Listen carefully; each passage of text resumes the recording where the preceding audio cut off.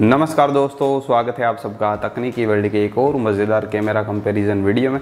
तो आज हम यहाँ पे कंपेयर करने वाले इन दोनों ही स्मार्टफ़ोन के कैमरास को जो कि है Realme G T two and Oppo Reno eight five G अब यहाँ पे इन दोनों का कंपैरिजन करने का बहुत ही सिंपल सा रीज़न है बिकॉज़ यहाँ पे जो कैमरा सेटअप है प्राइमरी कैमरा है, वो दोनों में ही सिमिलर है।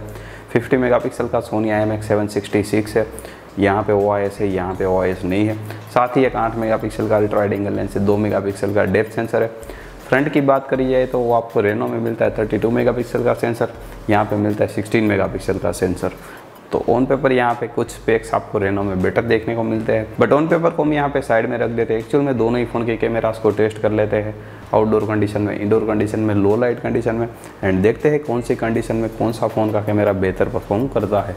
तो चलिए without wasting any more time let's get started तो दोनों ही फ़ोन में यहाँ पे आपको पोर्ट्रेट वीडियो का भी ऑप्शन देखने को मिल जाता है। जो ब्लर है, उसको मैंने डिफ़ॉल्ट ही रखा हुआ है। तो यहाँ पे अगेन आप देख सकते हैं रिजेक्शन वगैरह बेहतर है। एंड ऑडियो आप सुन रहे हैं, वो भी इसके इंटरनल माइक्रोफोन से है। ऑडियो पिकअप वगैरह कहाँ पे बेटर है, वो भी आप लोग यहाँ पे सुन सकते हैं। एंड फ्रंट कैमरा में भी यहाँ पे आपको दोनों ही फ़ोन में बोके वीडियो का ऑप्शन देखने को मिल जाता है। अगेन एट पिक्सल तक ही शूट कर सकते हैं। तो यहाँ पे भी अगेन आप देख सकते हैं, दोनों ही फ़ोन किस तरह से काम कर रहे हैं। शर्ट वाला पार्ट है, वो यहाँ वो यहाँ पे ओवर एक्सपोज हो रहा है रेनो में कुछ ज़्यादा ही हो रहा है। बाकी कैप वाला पार्ट यहाँ पे जी टी टू भी ओवर एक्सपोज कर रहा है। एज डिटेक्शन आप लोग देख सकते हैं मूवमेंट करने पे किस तरह से हो रहा है। दोनों का ही मुझे एवरेज लग रहा है। दोनों ही फ़ोन में अल्ट्रा वाइड एंगल लेंस से निकाली गई इमेज है एंड यहाँ पे आप क्लियरली देख सकते हैं कि जी टी ने काफ़ी बेटर काम किया है कॉलर्स के मामले में। रेनो एट की बात करी जाए तो कॉलर्स वगैरह इतने अच्छे मैनेज नहीं करे हैं, थोड़े से वाइटी सी रखे हैं, जो कि देखने में इतने अच्छे नहीं लगते हैं। अब यहाँ पे अगर आप बैकग्राउंड में डायनामिक रेंज भी नोटिस करते हैं तो दोनों की ही काफ़ी बढ़िया है। बट अगर आप जूम इन करके डिटेलिंग एंड शार्पनेस देखेंगे तो वहाँ पे इतना डिफरेंस पता नहीं चलेगा। बट ओवरऑल कलर्स के मामले में मुझे यहाँ पे जी टू का आउटपुट बेटर लगा है। प्राइमरी कैमरा से निकाली गई इमेज है एंड अगेन यहाँ पे मुझे जी टू का आउटपुट बेटर लग रहा है। कलर्स वगैरह बेटर है स्किन टोन बेटर मैनेज किया है। रेनो की बात करी जाए तो इमेज यहाँ पे एकदम ही डल लग रही है, जो एक्चुअल कंडीशन थी, वो भी रिफ्लेक्ट नहीं कर पाया है। उसके अलावा यहाँ पे अगर आप डायनामिक रेंज नोटिस करते हैं तो दोनों की ही बढ़िया है। जूम इन करके डिटेलिंग एंड शार्पनेस नोटिस करेंगे तो वहाँ पर भी सरप्राइजिंगली जी टी आगे है। तो यहाँ पे भी मुझे डी टू का परफॉर्मेंस बेटर लगा है। पोर्ट्रेट मोड को ऑन किया है एज डिटेक्शन यहाँ पे दोनों ही फ़ोन अच्छे तरीके से कर लेते हैं, वहाँ पे डिफरेंस नहीं है। बट अगेन जो कलर्स है स्किन टोन है, वो सारी ही चीज़ें मुझे जी टू में बेटर लगी है। डे लाइट कंडीशन में ही अल्ट्रा वाइड एंगल लेंस निकाली गई ऑब्जेक्ट की फ़ोटो है एंड यहाँ पे जो डिफरेंस हो, इतना बड़ा नोटिस नहीं होगा बट डिफरेंस डेफिनेटली यहाँ पे भी नोटिस हो जाता है। कलर्स वगैरह आपको जी में थोड़े से आई ब्लीजिंग देखने को मिलते हैं। रेनो यहाँ पे जो एक्चुअल कलर होते हैं, वो दिखाने की कोशिश करता है। डायनामिक रेंज अगर यहाँ पे आप देखते हैं तो दोनों का ही बढ़िया है।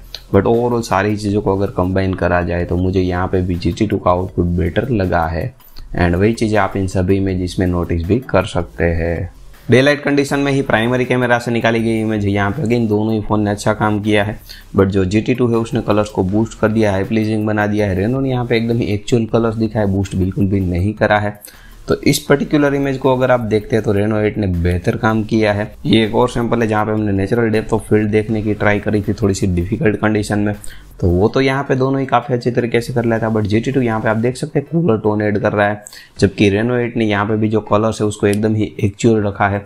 जो फ्लावर का कलर है वो रेनो एट ने रखा था, वही है। जी ने यहाँ पे बहुत ही बूस्ट कर दिया है। तो कुछ कंडीशन में यहाँ पे जी टी अननेचुरल भी आपको लग सकता है। अब जैसे कि इस फ़ोटो में भी आप देख सकते हैं रेनोवेट ने एकदम ही एक्चुअल कलर रखा है बट जी टी ने यहाँ पे कलर को एकदम ही बूस्ट कर दिया है। एंड ये कुछ और ऑब्जेक्ट की फोटोस हैं एंड यहाँ पे भी आप सभी सैंपल में यही चीज़ नोटिस करेंगे कि जो आपको हाई प्लीजिंग इमेजेस वो जी टी में देखने को मिलेगी एंड थोड़े से कम कलर्स आपको ओप्पो रेनो एट में देखने को मिलेंगे। बाकी जो डिटेलिंग एंड शार्पनेस वगैरह है डायनामिक रेंज है, वहाँ पे कोई इतना मेजर डिफरेंस पता नहीं चलेगा। दोनों ही फ़ोन में 50 मेगापिक्सल मोड में निकाली गई इमेज है। यहाँ पे आप देख सकते हैं, दोनों ही फ़ोन ने अच्छा काम किया है कलर्स के मामले में। बट डिटेलिंग कहाँ पे बेटर है वो देख लेते हैं जूम इन करके। तो जूम इन करने के बाद आप देख सकते हैं कि डिटेलिंग के मामले में यहाँ पे कोई भी डिफरेंस नहीं है। दोनों में आपको इक्वल डिटेलिंग देखने को मिल रहा है। फ्रंट कैमरा से निकाली गई इमेज अगेन यहाँ पे मुझे जी का आउटपुट बेटर लग रहा है। कलर्स वहाँ पे बेटर मैनेज हुए शर्ट का कलर एक्चुअल दिखाया है। रेनो ने यहाँ पे अगेन डल कलर्स को दिखा दिया है। इतना बूस्ट नहीं करा है। बैकग्राउंड में जो स्काई वाला पार्ट वो भी इतना अच्छा नहीं है। थोड़ा सा वॉश आउट जैसा लग रहा है। डिटेलिंग एंड शार्पनेस यहाँ पे आप देखेंगे तो दोनों का ही बढ़िया है। रेनो में इनफेक्ट थोड़ा सा बेटर देखने को मिला है। पोर्ट्रेट मोड को ऑन किया है। एज डिटेक्शन यहाँ पे दोनों ही फ़ोन ने अच्छे तरीके से कर लिया है। बट यहाँ पे भी अगेन ओवरऑल कलर्स है स्किन टोन है, वो सारी ही चीज़ें मुझे जी की बेटर लगी है। ये एक और सिंपल है एंड यहाँ पे भी आप देख सकते हैं कि डिफरेंस बड़ा नहीं है बट स्टिल अभी भी जी टू का आउटपुट बेटर है। Indoor ultra wide angle lens से निकाली गई इमेज है, यहाँ पे दोनों ही फ़ोन ने अच्छा काम किया बट अगेन कलर्स मैं जी टू के प्रीफर करूँगा। रेनो एट यहाँ पे कलर को इतना बूस्ट नहीं करता है एक्चुअल भी नहीं दिखाता है कुछ कंडीशन में तो। यहाँ पे अगर आप जूम इन करेंगे डिटेलिंग एंड शार्पनेस नोटिस करेंगे तो रेनो एट में डेफिनेटली बेटर है। जी टू यहाँ पे बहुत ही सॉफ्टनेस ऐड कर देता है। बट ओवरऑल जो कलर्स है आपको जी टी में बेटर देखने को मिलते हैं। इंडोर प्राइमरी कैमरा से निकाली गई इमेज है। अगेन यहाँ पे कलर्स का डिफरेंस नोटिस हो जाएगा। जी टी का आउटपुट अगेन मुझे बेटर लग रहा है। कलर्स वगैरह बेटर मैनेज किए हैं। रेनो ने भी यहाँ पे कलर्स को बुरा नहीं दिखाया स्किन टोन भी सही दिखाया है। बट यहाँ पे भी अगर आप जूम इन करेंगे डिटेलिंग एंड शार्पनेस नोटिस करेंगे तो जी टू बेटर है। तो ओवरऑल सभी चीज़ों को कंबाइन करें तो यहाँ पे भी जी टी टू ने बेहतर काम किया है। इंडोर पोर्ट्रेट मोड को यूज़ करेंगे तो एज डिटेक्शन दोनों ही फ़ोन में अच्छे तरीके से हो जाता है। एंड वहाँ पे कोई भी इश्यू नहीं है बट ओवरऑल अगेन कलर्स वगैरह है, वो मुझे जी टी टू के बेटर लगे है। एंड ये कुछ इंडोर ऑब्जेक्ट की फ़ोटोज़ मैंने निकाली है। एंड यहाँ पे डिफरेंस इतना बड़ा देखने को नहीं मिलेगा। माइनर सा डिफरेंस आ जाएगा। कुछ कंडीशन में जी आपको कूलर आउटपुट देगा। रेनो एट यहाँ पे आपको एकदम ही एक्चुअल आउटपुट देता है। उसके अलावा जो डिटेलिंग है शार्पनेस है, वो यहाँ पे दोनों का ही इक्वल है। वहाँ पे कोई ऐसा मेजर डिफरेंस नहीं है। बट कलर्स वगैरह के मामले में यहाँ पे आपको जी थोड़े से बूस्टेड कलर्स देगा। इंडो फ्रंट कैमरा से निकाली गई इमेज है। अगेन, दोनों ही फ़ोन ने यहाँ पे अच्छा काम किया है। बट अगेन, जो कलर्स है, वो मुझे जी के बेटर लग रहे हैं। स्किन टोन उसका बेटर लग रहा है, थोड़ा सा रेडिश की तरफ़ दिखाया है, जो कि एक्चुअल के जैसा है। रेनो की बात करी जाए एकदम ही वाइट स्किन टोन दिखाया है एक्चुअल बिल्कुल भी नहीं दिखाया शर्ट के कलर की भी बात करी जाए तो थोड़ा सा डल रखा है। डिटेलिंग एंड शार्पनेस की बात करें तो दोनों में ही अच्छा है। पोर्ट्रेट मोड को ऑन किया है एज डिटेक्शन यहाँ पे दोनों ने अच्छे अच्छे कर लिया है। ये मैंने वोम लाइट में फ़ोटो निकाली थी एंड यहाँ पे भी आप देख सकते हैं, दोनों ही फ़ोन ने काफ़ी अच्छा काम किया है। एंड स्किन टोन की बात करी जाए तो रियल मी यहाँ पे इक्वल स्किन टोन रखता है, हर एक कंडीशन में। रेनो की बात करी जाए तो यहाँ पे आप देख सकते हैं कि स्किन टोन को डार्क बना दिया है, बाहर बहुत ही वाइट था। तो अगेन ये चीज़ें हैं जो आप ध्यान में रख सकते हैं। लो लाइट कंडीशन में निकाली गई फ़ोटो है एंड यहाँ पे आप देख सकते हैं कि रेनो एट ने काफ़ी बेटर काम किया है। जो लाइट आ रही थी चेहरे के ऊपर, उसको अच्छे से मैनेज करा है। नाइट मोड को एनेबल करने के बाद जी का आउटपुट भी काफ़ी इंप्रूव हो जाता है बट स्टिल अभी भी ओवरऑल सारी ही चीज़ें मुझे रेनो एट में बेटर लगी है। रियर कैमरा से निकाली गई इमेज विदाउट नाइट मोड है बट यहाँ पे दोनों ही फ़ोन में नाइट मोड ऑन हो जाता है बाई डिफ़ॉल्ट तो यहाँ पे अगेन जी का आउटपुट मुझे बेटर लगा है। जो लाइट कंट्रोल है, जो फ्लेयर्स आ रहे हैं, उसको उसने बेटर मैनेज करा है। एक्सट्रीम लो लाइट कंडीशन में निकाली गई फ़ोटो है एंड यहाँ पे भी अगेन जो ओ है, उसका बेनिफिट आपको डेफिनेटली जी टी में देखने को मिलता है। तो दोनों ही फ़ोन में फ्रंट कैमरा से शूट कर रहा हूँ एंड मैक्सिमम यहाँ पे दोनों ही फ़ोन में आप ten eighty pixel thirty F तक ही शूट कर सकते हैं। एंड अभी जो सनलाइट है, वो मेरे पीछे है। तो आप देख सकते हैं यहाँ पे लाइट कंट्रोल वगैरह किस तरह का है, कौन सा फ़ोन बेहतर कर रहा है। एंड अभी जो सनलाइट है वो मेरे सामने आ गई है। तो आप देख सकते हैं यहाँ पे कौन सा फ़ोन बेहतर काम कर रहा है। एंड वॉक भी कर लेते हैं। लेट सी स्टेबिलिटी कहाँ पे बेटर है। दोनों में ही यहाँ पे ई e देखने को मिल जाता है। एंड ऑन भी किया हुआ है दोनों ही फ़ोन में। तो ज़्यादा क्रॉप फुटेज तो यहाँ पे जी टी टू की लग रही है। बट जो स्टेबिलिटी है वो मुझे दोनों ही फ़ोन की सही लग रही है।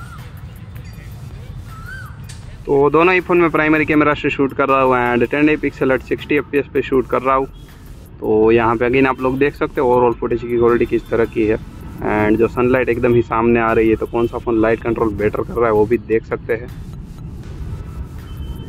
एंड ये स्काई वाला पार्ट है। एक्सपोजर वगैरह दोनों ही फ़ोन में अच्छे से हैंडल हो रहा है। अभी हम वॉक कर लेते हैं लेट सी स्टेबिलिटी कहाँ पे बेटर है।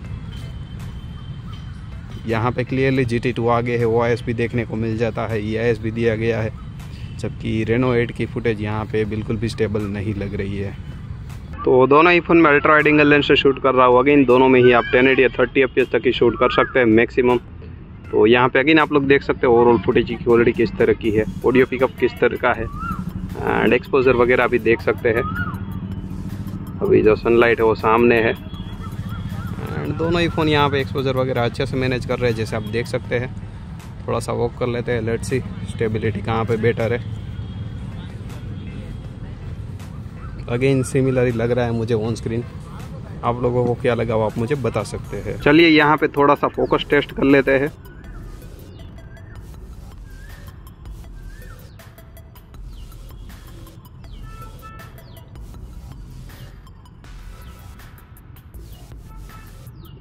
यहाँ पे मुझे on screen G T two आगे लग रहा है। बाकी फोकस तो दोनों में ही हो रहा है बट थोड़ा सा क्लोज जाते हैं। तो यहाँ पे आप देख सकते हैं जी टी टू काफ़ी अच्छा काम कर रहा है। तो दोस्तों ओवरऑल यहाँ पे अगर रिजल्ट्स के बारे में बात करी जाए तो अगर पूरे वीडियो को आपने ठीक से देखा होगा, समझा होगा तो आपको भी पता चल गया होगा कि ज़्यादातर कंडीशन में यहाँ पे जी ने बेहतर काम किया है। कुछ एक ऐसी कंडीशन थी, जहाँ पे रेनो एट ने भी बेहतर परफॉर्म किया था। बट ओवरऑल कलर्स वगैरह है, आपको जी में बेटर देखने को मिलते हैं, थोड़े से आई प्लेसिंग देखने को मिलते हैं ज़्यादातर यूज़र उसी तरह के कलर्स वगैरह पसंद करते हैं। कैमराज के मामले में इन दोनों से किसी एक को पिक करना हो तो मैं तो डेफिनेटली जी ही पिक करूँगा। बाकी आपकी चॉइस है, आपको अगर रेनो बहुत ही अच्छा लगता है तो ले सकते हैं। तो बस अभी के लिए इस वीडियो में इतना ही था। मुझे उम्मीद है कि आपको वीडियो पसंद आया होगा अच्छा लगा होगा। अगर वीडियो आपको पसंद आया हो तो वीडियो को लाइक कीजिए, शेयर कीजिए, चैनल को सब्सक्राइब कीजिए। मैं मिलूँगा आपसे अपनी अगली वीडियो में। तब तक के लिए जय हिंद, जय भारत।